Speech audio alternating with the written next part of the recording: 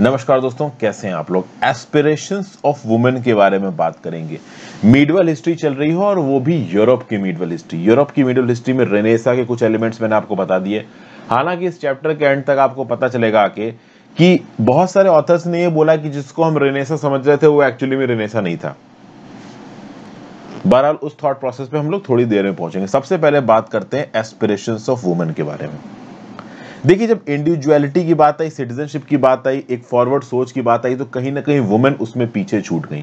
जिस प्रकार से आज की सोसाइटी में या मिडवल इंडिया में एंशियंट इंडिया में हम देखते हैं ना कि वुमेन को डिसएडवांटेज कंडीशन में रखा जाता था। कुछ कुछ यूरोप में भी ऐसा ही हो रहा था। जो बड़ी बड़ी एरिस्टोक्रेटिक फैमिलीज़ थी एरिस्टोक्रेटिक मतलब जो नोबिलिटी और जो नहीं, आपके नोबल टाइप के लोग होते हैं मिनिस्टर मिनिस्टर हो गए, राजा के अंदर काम करने वाले।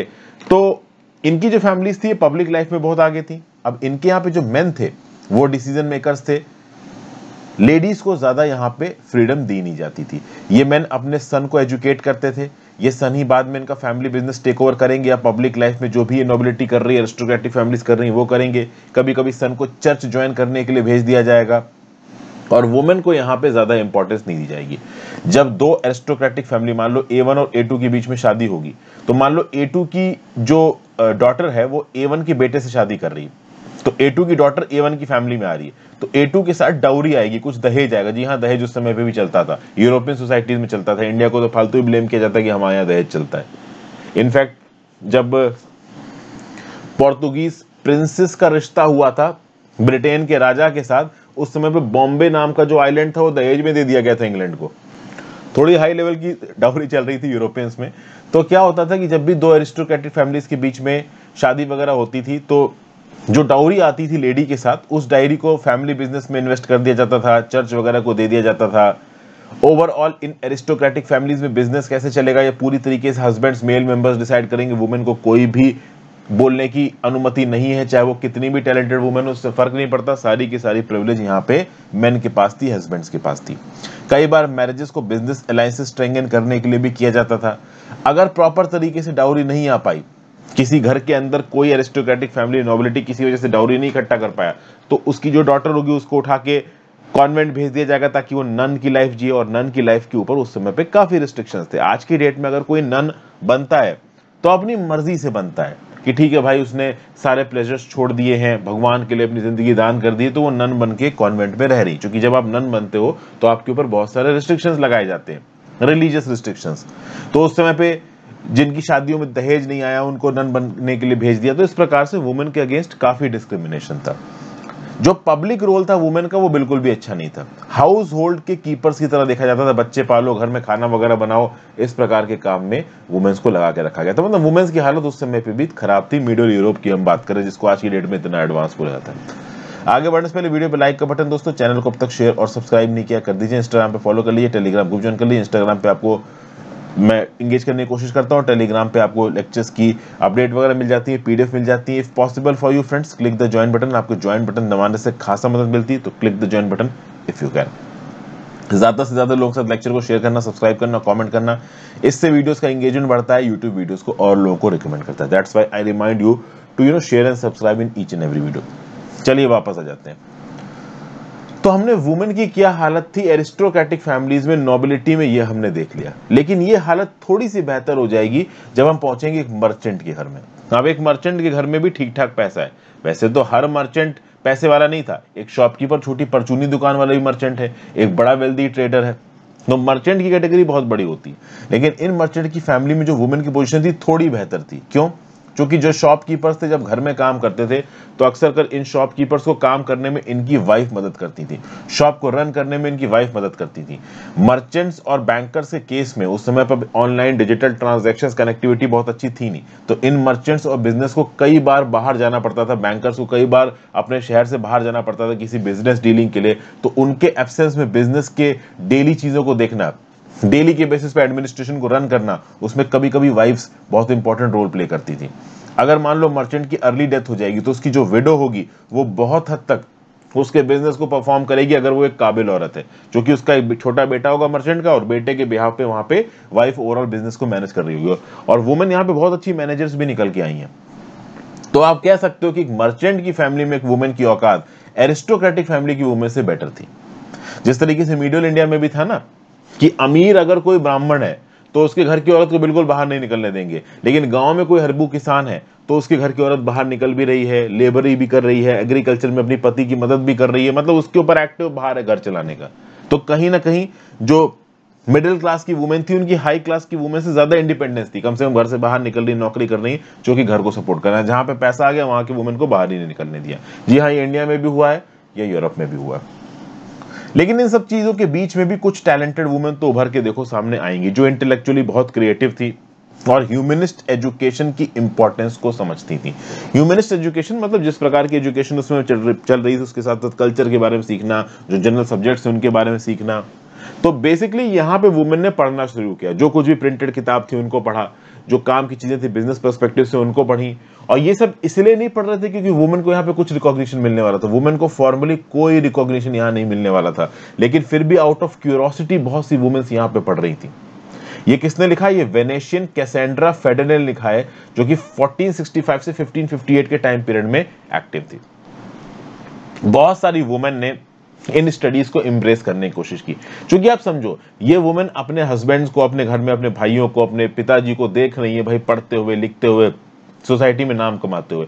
ये एक ऐसी चीज़ है जिसका एक्सेस वुमेन के पास नहीं तो वुमेन तो चाहेंगी ना कि हमें इस चीज़ का एक्सेस मिले। नॉलेज तो हमेशा ताकत की चीज़ होती है। आज की डेट में जिसके पास नॉलेज है, वो भी ताकतवर है। उस समय भी जिसके पास नॉलेज थी, वो ताकतवर था। ठीक है? फिर आप देखोगे कि वेनेशियन कैसेंड्रा फेडले ये one of those handful of women है जिन्होंने इस आइडिया को क्वेश्चन किया, इस आइडिया के ऊपर सवाल उठाया कि that women were incapable of achieving the qualities of a humanist scholar उस समय के जो ह्यूमनिस्ट स्कॉलर थे, जो कि अपने समय से आगे बढ़ के चीज़ें बता रहे थे, जैसे इटली में ह्यूमनिस्ट स्कॉलर क्या बता रहे थे, मैंने आपको बताया। चर्च के आइडिया से क्वेश्चन कर रहे थे। अभी नॉर्थ यूरोप में ह्यूमनिस्ट स्कॉलर क्या बोलेंगे, वो भी मैं आपको भी थोड़ी देर में बताऊँगा।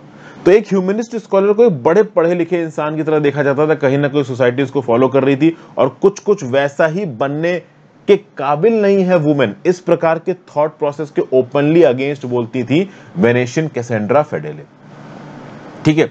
फेडेले ग्रीक में लैटिन में इनकी अच्छी प्रोफिशिएंसी थी और ये इतनी पढ़ी लिखी थी कि यूनिवर्सिटी ऑफ़ पदुआ में इनको लेक्चर्स देने के लिए बुलाया भी जाता था। फिर आगे क्या बताया? कि भाई एजुकेशन की जनरल रिगार्ड के बारे में लोगों को अवेयर करवाना बेसिक एजुकेशन की कितनी ज़रूरत है मेन वुमेन दोनों को, इसके बारे में सोसाइटी को अवेयर कराने की कोशिश की फेडेले ने। ओके, फिर आगे क्या लिखा है? She was one of the many Venetian women writers who criticized the republic for creating a highly limited definition of freedom that favors the desire of men over those of women उस समय पे जैसा कि हमने देखा कि society में ज़्यादातर मेन की ही चलती थी वुमेन की ज़्यादा चलती नहीं थी। तो यहाँ पे फेडरल ने क्वेश्चन किया कि भाई ये कौन सा आपका रिपब्लिक है जहाँ पे वुमेन को राइट्स ही नहीं दिए जा रहे हैं? जहाँ पे जो फ्रीडम है वो मेन को है। और मैन ही डिसाइड करेगा कि उसके घर की वुमेन करेगी तो क्या करेगी? वुमेन को यहाँ पे आप कोई चॉइस ही नहीं दे रहे हो। तो इस प्रकार की बातें यहाँ पे फेडले कर रही थी। उसके साथ साथ एक और रिमार्केबल वुमेन थी, वो थी मार्चेसा ऑफ़ मांटुआ जिनका नाम था Isabella d'Este she was the Marchesa of Mantua 1474 से 1539 के टाइम पीरियड में एक्टिव थी। तो ये स्टेट को रूल कर रही थी जब इनके हस्बैंड नहीं थे। मांटुआ की मार्चेसा थी हेड क्वीन समझ लीजिए इनको।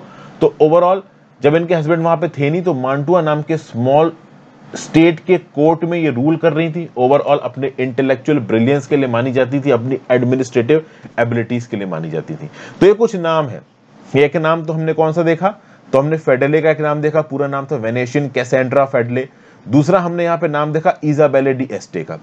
ये दो तीन वुमेन उस समय पे काफ़ी फ़ेमस हुई, जिन्होंने अपनी काबिलियत के बेसिस पे अपनी इंपॉर्टेंस को दिखाया।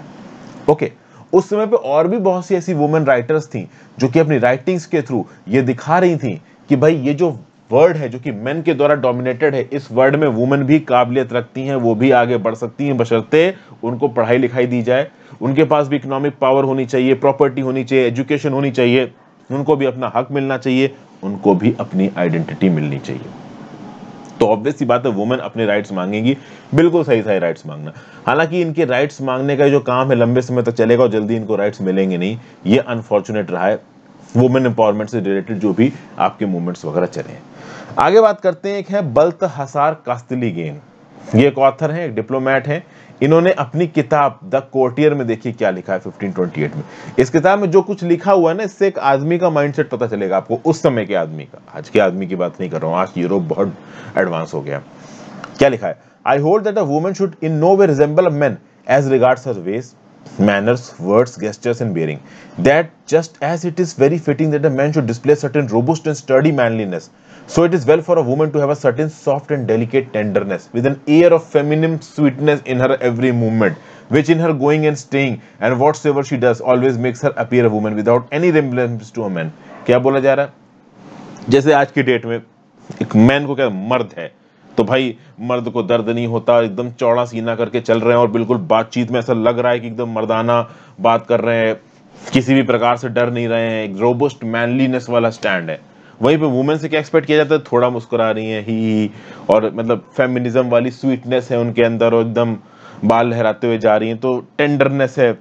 तो मतलब ओवरऑल यहाँ पे वैन को और वुमेन को एक अलग, आप कह लो इमेज में, एक अलग उनका आप कह सकते हो आउटर यू नो अपीयरेंस दिखाने की कोशिश कर रहा है ऑथर जो कि यहाँ पे बिल्कुल गलत था। क्योंकि इस प्रकार का अपीयरेंस क्या करता है कि मेन के वुमेन के बीच में डिस्टिंक्शन पैदा करता है। और फिर ये चीज़ से एक और चीज़ निकलती कि मेन जो काम कर रहे हैं, वो वुमेन नहीं कर सकती। और फिर देखिए क्या बोल रहे हैं।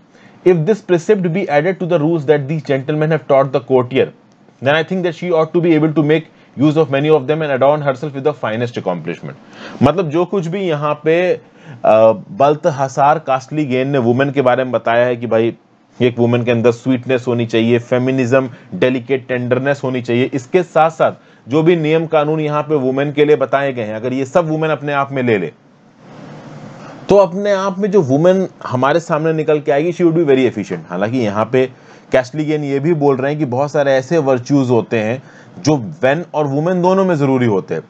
जैसे कि नेचुरली गेसफुल होना क्लेवर होना प्रूडेंट होना प्राउड नहीं होना ईविल टंग नहीं होना वेल मैनर्ड होना। तो थोड़ी बहुत तो इक्वालिटी मैन वुमेन की दिखा रहे हैं बट मोस्टली जो कास्टली गेन का यहाँ पे व्यू है, वो प्रो मैन है वुमेन के साथ बिल्कुल इक्वलिटी की बात नहीं कर रहे हैं, हल्के फुल्के वुमेन और मेन के रोल में डिस्टिंक्शन ये कर रहे हैं। इनफैक्ट जिस प्रकार से एक्सपेक्ट किया जाता है एक मैन को अपने आप को सोसाइटी में दिखाना और एक वुमेन से अपने आप को सोसाइटी में दिखाने, उसमें कहीं ना कहीं ये ओवरऑल आप कह सकते हो कि डिस्क्रिमिनेशन दिखा रहे हैं। और इसलिए आप देखो कि फेडल ने यहाँ पे क्या एक्सप्रेस किया और कैस्टली गेन ने यहाँ पे क्या एक्सप्रेस किया, इसमें आपको फ़र्क नज़र आएगा। फेडल क्या बोल रहे हैं भाई कि जो काम मेन कर सकते हैं, वो वुमेन नहीं कर सकती ऐसा कहाँ लिखा हुआ है? और कैस्टली गोन क्या बोल रहा है? कि भाई वुमेन के लिए ये क्वालिटीज अच्छी हैं और जो मेन की क्वालिटी है, वो वुमेन ज़बरदस्ती दिखाने की कोशिश ना करे।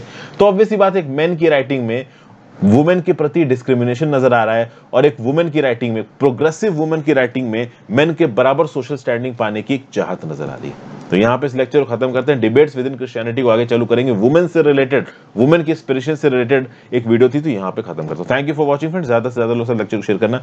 इंस्टाग्राम पे फॉलो कर लीजिए टेलीग्राम ग्रुप ज्वाइन कर लीजिए। Have a great day friends goodbye